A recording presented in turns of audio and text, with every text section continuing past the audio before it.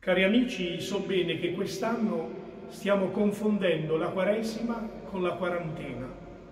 Non importa, il Signore non si perde in quisquili lessicali. A Dio sta a cuore che il tempo non trascorra in vano. È un dono che deve fruttificare nelle nostre mani, soprattutto deve sprigionare tutta la sua fecondità attraverso la nostra vita. Siamo chiamati in questa domenica a vivere esistenze grondanti luce. Infatti, protagonista di questa quarta domenica di Quaresima è un uomo cieco dalla nascita. Un uomo che non ha potuto accarezzare con lo sguardo le meraviglie del cosmo, i volti delle persone care, i colori e le forme degli oggetti.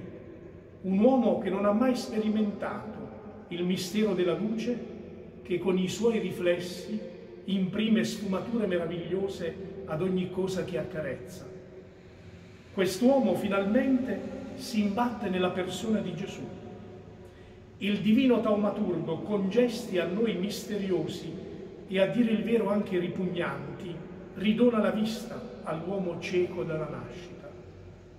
In questi gesti dove si impastano gli elementi primordiali della creazione dell'uomo, fango e saliva, mi sembra di rivedere la volontà di Dio di ricreare sempre ogni cosa.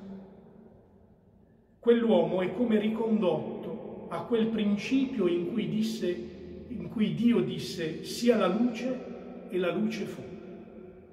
È l'imprincipio che fa sempre nuova ogni cosa. Noi che stiamo attraversando una lunga notte siamo d'un tratti proiettati nella luce noi che sentiamo incombere l'oscurità di questo triste momento dell'umanità, avvertiamo la promessa di Dio che tornerà a far brillare la luce nei nostri occhi e nei nostri cuori. I nostri occhi già ridono di gioia e intravedono all'orizzonte i primi bagliori di una nuova aurora. E anche noi potremo dire come il cieco nato, una cosa io so, ero cieco e ora ci vedo. Dimenticavo, noi non siamo ciechi dalla nascita, ma in questi ultimi tempi vediamo tutto grigio. Desideriamo quanto prima tornare a vedere a colori e godere della policromia della vita. Buona domenica a colori a tutti.